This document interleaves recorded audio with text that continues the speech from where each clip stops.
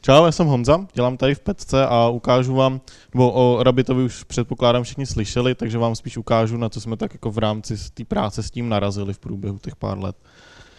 Uh, začnu reprezentací zpráv, protože vlastně tu zprávu může, může být reprezentována pouhým stringem.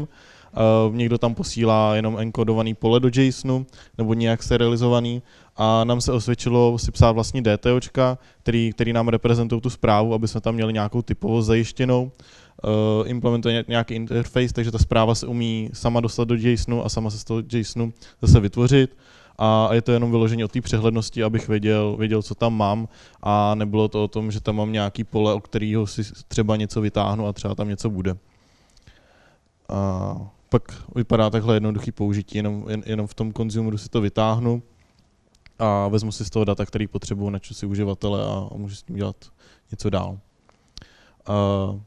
Na co využíváme Rabbita, tak je třeba nějaký škálování, nebo dá se, dá se s tím snadno nahradit nebo využít nějaká paralelizace v PHP. A princip je takový, že si problém dekomponuju na jednotlivý, jednotlivý podproblémy, jednotlivé části a nasypu se do, do fronty a nechám to zpracovat víc konzumerů. Uh, my to třeba využíváme na indexaci dát do Elastiku, kdy prostě indexace všech produktů nám trvala 2-3 dny, což nebylo úplně ideální, takže jsme, jsme udělali to, že do, do fronty se nasypou IDčka těch produktů a spustí se, teďka naposledy jsem to spouštěl se 40 konzumerama a za 4 hodiny bylo hotovo, takže to bylo docela hezký urychlení. A co se může rozbít? Během toho, jsme, když jsme začali indexovat ty data do toho Elastiku, tak jsme narazili na spoustu problémů. Jednak nám to začalo padat na paměti a začala se objevovat chyba broken pipe, o který jsme jako na začátku vůbec nevěděli, co to má znamenat. Uh, s tou pamětí je to jednoduchý. PHP neumí pracovat, uklízet po sobě paměť moc a není, není dělaný pro dlouhodobější běh, takže nej, nejjednodušší je sem tam toho konzumera nechat zabít, nechat ho zpracovat jenom, jenom třeba tisíc zpráv. Uh, je tam je tam vyloženě podpora na to, můžu zadat parametr, který mi uh, zajistí to, že konzumer, jak zpracuje těch tisíc zpráv, tak se to zabije a supervisor mi ho nastartuje znovu a valí se dál. Uh, Jo. Broken Pipe, to se nám začalo dít, když jsme právě do té fronty nasypali hromadu dat, když jsme tam měli třeba 300 tisíc až milion zpráv, ta, tak nám to najednou ten konzumer začal padat. Pořád, pořád, pořád to padalo a neviděli jsme moc proč a je to kvůli tomu, že ten konzumer si načítá z fronty k sobě ty zprávy. Oni jsou někde ve frontě a on se je potřebuje načíst k sobě. Jenomže tím, že si jich vytáhne moc, protože ten počet není nějak omezený, tak najednou z toho vždycky spadne. To má, má toho prostě hodně. Ty zprávy jsou, bere si to nějaký, má to nějaký požadavky na systémové prostředky na klientské straně toho konzumera. Uh, řešením je nastavit prefetch count, kdy tím já řeknu to, kolik si k sobě ten konzumer může vzít zpráv. Jestli k sobě vezme maximálně třeba tisícovku, protože stejně po tisíci zprávách ho zabijím, tak on si k sobě vezme tisíc a až, až mu dojdou, tak, tak, tak si dotáhne další. Hlavně, hlavně jako podstatou je to, aby, aby ten konzumer měl u sebe zprávy, aby nečekal na to, než mu někdo doručí zprávu, ale aby ji měl u sebe a ty zprávy čekaly na to zpracování. A to je asi všechno. Jo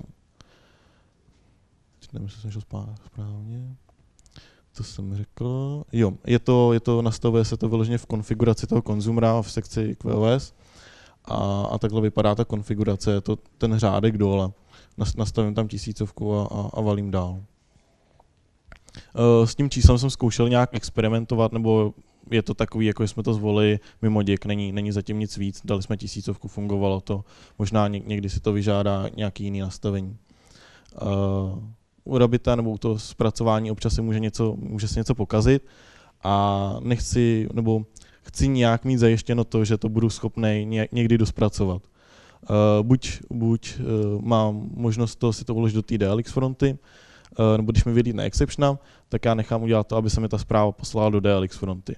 Z té DLX fronty si to můžu později vytáhnout, a ručně to analyzovat, jestli zjistit, co tam je za problém, a třeba tu zprávu zahodit úplně, protože s tím, že fakt je nesmyslná, a nebo ji pošlu zpátky do té do původní fronty a nechám ji zpracovat znovu. Uh, což je možná trošku otravný a musí se to hlídat. Musí to hlídat, třeba máme na to napsané rozšíření monitoringu, že si hlídáme počty zpráv v jednotlivých frontách, tak aby jsme o tom měli přehled a, a mohli s tím, s tím právě takhle nakládat. Ale když to nechcem dělat, tak tam máme nastavený automatické navracení do těch původních front, kdy nám to třeba po půl hodině tu zprávu vezmeme z té DLX fronty a šoupneme ji zase do té klasické a věč, většinou je to, to nastavím u těch front, kde to selhává na nějaký komunikaci s externím systémem, kde prostě občas to vypadne a nechceme s tím mít starosti, tak to zkusíme párkrát takhle nechat poslat a pak to projde. Ještě je možnost nastavit takhle, aby se to necyklovalo pořád dokola, tak je možný si nějakým způsobem hlídat eh, nebo zajistit si nějaký mechanismus, který mi bude říkat, kolikrát maximálně tu zprávu nechám projít tím zpracováním. To třeba nemáme, ale tím, tím že tam jsou ty časy toho navracení docela dlouhý, tak to nespůsobuje žádný velký problémy a když se tam namnoží pár zpráv, tak nám to většinou zahlásí monitoring a něco s tím uděláme. A jak jsem říkal, tak eh, to, že máme konzumery, to je jedna věc, ale musí nám je taky někdo spouštět, nebo že nechcem spouštět ručně. A od toho, od toho je supervisor, který zajistí to, že, že drží ty konzumery při životě, když umřou, tak je spustí znovu a, a tak dále. E, ten supervisor vyžaduje nějakou, nějakou konfiguraci, tam jsou poznámky, a ta konfigurace vypadá nějak takhle, což je podle mě takový jako dost nepřehledný nebo takový krkolomný, abych to musel psát pro všechnu tu hromadu konzumerů. Uh, proto, teda, jo, proto máme, máme nástroj, který nám to umožňuje generovat. Je to, vezme si to z Neonu, uh, zápis té konfigurace a prožene, prožene to nějakým kódem, nějakým skriptem, který z toho vytvoří tu výslednou konfiguraci, co jsme viděli předtím. A takhle pak vypadá, vypadá ta konfigurace, kde já můžu nadefinovat nějaké defaultní hodnoty uh, pro, ty, pro ty jednotlivé konzumery a pak, pak si def, definuju konfiguraci pro už, už tu specifickou, co chci. Nastavím si, že chci třeba, aby se mě to spustilo uh, v deseti vláknech a, a valím dál. Uh, má to, jsou, jsou to dva, je, je to public repozitář, kdybyste to chtěl někde využít, a má to akorát dva, dva komandy, jeden mi to umí vyrendrovat, jeden mi to umí zapsat do souboru. Takže to využíváme k tomu, že při buildu aplikace, při deploy uh, si vygeneruju tady tu konfiguraci a nechám ji supervisora načíst. Tím vlastně není verzovaná, je verzovaná pouze v tom neonu. A na závěr tady mám jenom takový, že je potřeba si u toho, u toho Rabita uvědomit, že to není request response, že to fakt běží, běží to dlouhodobě a spousta lidí mi přijde, že má trošku jakoby problém uh, si ten přechod uvědomit, že ta aplikace běží díl, protože to, co si ten konzumer načte na začátku, tak s tím pracuje vlastně po celou dobu.